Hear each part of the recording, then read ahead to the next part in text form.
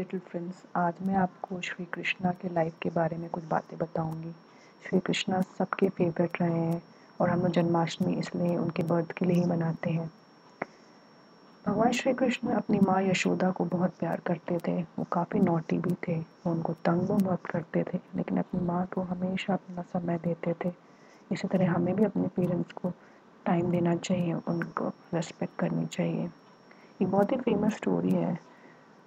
अर्थासुरु की एक बार वृंदावन के सभी लोगों पर एक पुण्य अटैक कर दिया। उनकी जान बचाने भगवान कृष्ण आए। उसको बुल को मार गिराया। बाद में उन्होंने रियलाइज़ किया, ये बुल कुछ और नहीं, उसको एक श्राप मिला था भगवान बृहस्पति से, क्योंकि उसने उनकी बात नहीं मानी। तो इसीलिए हमें भी अपने गुरु की हमेशा बात माननी चाहिए। हमें उनका कभी डिसोबे नहीं करना चाहिए, नहीं तो वो नाराज़ हो जाते हैं। भगवान कृष्ण को बटर बहुत पसंद था। वो मक्खन काफ़ी चोरी करते थे। जब भी घर से उनकी मम्मी कहीं बाहर चली जाती थी अपने दोस्तों की टोली लेकर के घर आते थे और मक्खन चुराते थे। जैसे उनकी माँ घर वापस आती थी तो वो सबको मारती थी और उनके बेटे को भी मारती थी पनिशमेंट्स देती थी। तो we should never disobey our elders और अगर पनिशमेंट मिलती है तो लेनी चाहिए। गोवर्धन हिल, वृंदावन के लोग हमेशा लॉर्ड इंद्र की पूजा करते थे ताकि उनको टाइमली बारिश मिले।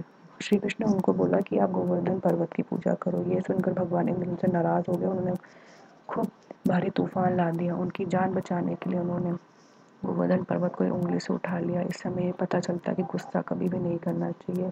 भगवान कृष्ण और सुदामा की जोड़ी काफ़ी फ़ेमस है। सुदामा बहुत गरीब थे, लेकिन फिर भी भगवान कृष्ण उनकी बहुत इज़्ज़त करते थे।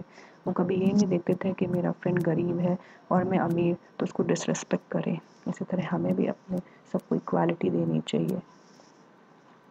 वो हमेशा खुश रहते थे, मेरी फुल लाइफ जीते थे चेयरफुल थे। वो अपने लव्ड वन के साथ टाइम स्पेंड करते थे। वो हमेशा फ्यूचर के बारे में वरी नहीं करते थे।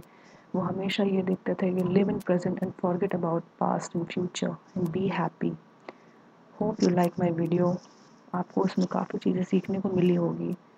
All the best in your life and have a great day kids